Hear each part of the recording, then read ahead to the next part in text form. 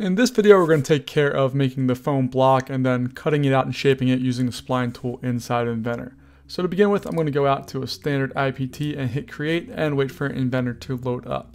Essentially, what we're going to be doing here is we're going to take a foam blank and make it full, uh, just like it comes in the kit, and then we'll cut and shape it the way that we'd like for printing down the road, and we'll get to that in a future video. But as we load up here, uh, what we're going to be doing is we're going to go up to a 2D sketch here in Inventor once it loads all the way up, and it's there.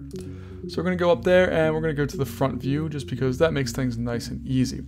Once we're in sketch mode, we're going to make a rectangle, and by measuring our foam block, it should be 8 inches long, and I'm going to hit tab here, and it should be 2 inches tall. Uh, so I have my width and I have my height set up, and I'm going to finish my sketch, and this whole thing uh, is going to get extruded 2.5 inches. And I'll hit OK at that point. So we have a foam block. At this point, what I want to do is I want to make this thing more aerodynamic. Uh, by default, this block isn't going to do a great job, especially if I put a motor on top of it. It's really not going to do very well for what we need to do uh, for this assignment. Uh, so what we're going to do is we're going to right click in here and go to new sketch and I'm doing that on the front end uh, because I want to be able to go through and sketch out what's happening here and cut away this area.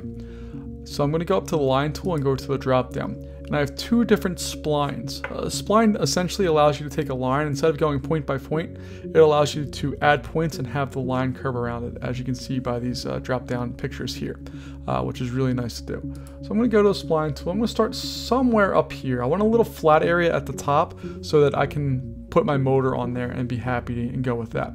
So I'm to go somewhere around here and I'm just going to go out and try to make something that I think looks like a nice shape uh, for what I want to do. And then I'll curve that down there. And when I'm done, I'll hit my green check mark and I have my tool here. If this happens up here on the top right hand side where it's coming out, you just need to adjust these little lines here and you can kind of curve it down. Uh, that's not going to work out for what we want to do, uh, so it has to be inside of there. If for whatever reason it's not working, you can just click, hold, and drag and move them down to where you want them to be. Uh, so maybe I really want that a little lower, like that. And then this guy here uh, will change just the angle a little bit to get more of what we want. Last things we have to do is go back into our line tool and we need to close the loop here. Uh, so these lines are popping up, but they're not actually closed at this point. Uh, we need to go through and complete the loop and you'll notice that we get bluish purple lines there. That tells us that we have solid lines in place. Once we have that, we'll finish our sketch, go to extrude, uh, it has our surface automatically selected and instead of adding, we're going to cut. And when I hit that, I get this nice shape that I'm ready to use and go with on my piece.